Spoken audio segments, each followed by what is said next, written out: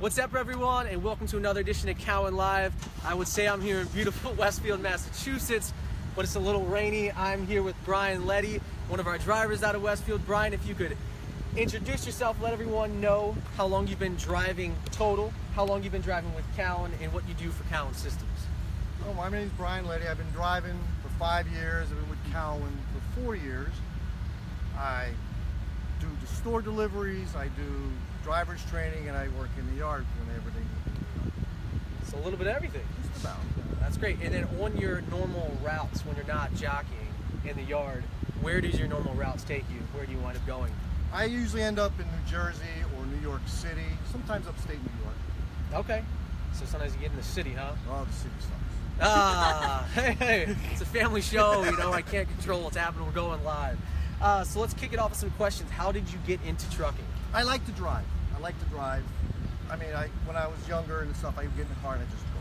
Just go. I just go. You I like the peace and quiet? like peace and quiet. Like you know, and it's it's fun. You get to see things you don't see because working in an office all the time. I agree. I love to get out myself, get to different terminals, and visit the people, as they say. So you've been with Cowan for four years. Yes, sir. What has made you stay here so long, and what is your favorite thing about working here at Cowan Systems? I stay here because they treat you with respect. They pay me very well. I can't complain about that. Um, what do I like about Cowan? It's just a good company to work for. They have good benefits, good good um, incentives. They do extra things for you. They help you out. That's perfect. Good people, good pay. Yep. Sounds like good times. It is. It's very good. Time. I can dig it. All right, so um, you talked about going into the city, and obviously you have some tough routes sometimes, and with deliveries. Can you talk about some of the daily challenges that you face? Because we know it's always not the, the easiest job.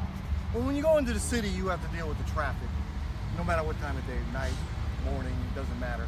And going in there with the big long trucks, it's, it's challenging. You got to watch the bridges, you got to watch, it's like I said, traffic. But when you're backing into the stores, it's very, very challenging too. Very challenging. All right. And I like a challenge. You like a challenge? love a challenge. That's why. It's awesome. Well, that's good to hear. So for the most part, it's not too bad, though, right? No, it's not bad at all. Okay, awesome. So, talking about some of those challenges, uh, we do know that you served 28 years in the Army. So, I know I speak for everyone at Cal when I say thank you for your service, first of all. And did anything prepare you over those 28 years of being in the Army for preparing you for driving in the city or driving, you know, as your occupation now? Yes, I, I, I drove trucks in the army. I drove heavy equipment, tanks, 113 PCs, and all that good stuff. Yeah. And I, like I said, I like driving, so that that prepares you for the outside world and stuff like that. Absolutely. It helps you out a lot. For sure. What, what was what was more difficult to drive, an 18 wheeler in New York City or a tank anywhere? Hmm. An 18 wheeler in New York City, Really? because a tank could go anywhere.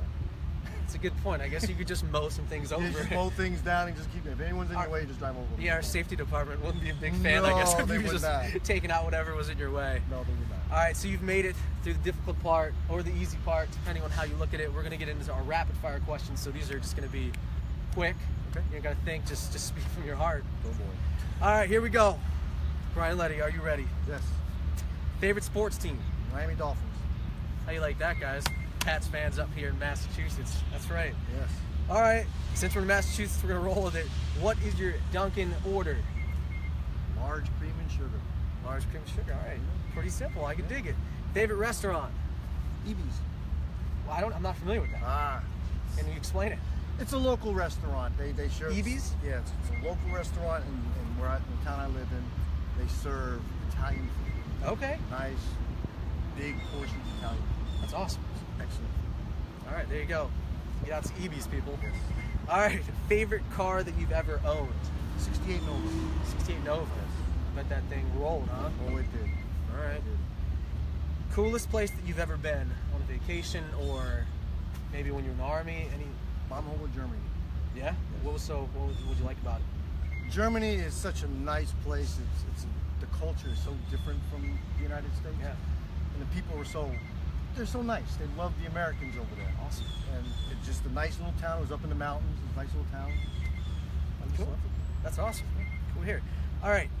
Some other some or and or questions. So free airfare for life, or free gas for 20 years. Free gas for 20 years. All right. this man who likes to drive. What do you expect? Pepsi or Coke? Coke, Spicy or mild? spicy, Hot weather or cold weather? hot weather. Now, some background. He's up here in Westfield, Mass now, Yes. but he's originally from St. Augustine, so Yes, I am. I guess we can't be too surprised. Last question. All in the history of the NFL, you can pick one quarterback in his prime to take you to a Super Bowl. Who are you picking? Bob Griese. Bob Griese. I thought you were going to go Marino, but hey, what do I know? Brian, you made it through. We really appreciate all you do for the company. We thank you for coming out, being on Cowan Live. If you guys have any questions or comments for Brian, please post them underneath here, and we'll make sure he gets them. If you have anything that you think we should ask him next time on Cowan Live, please let us know, and we will see you next time. Thanks, guys.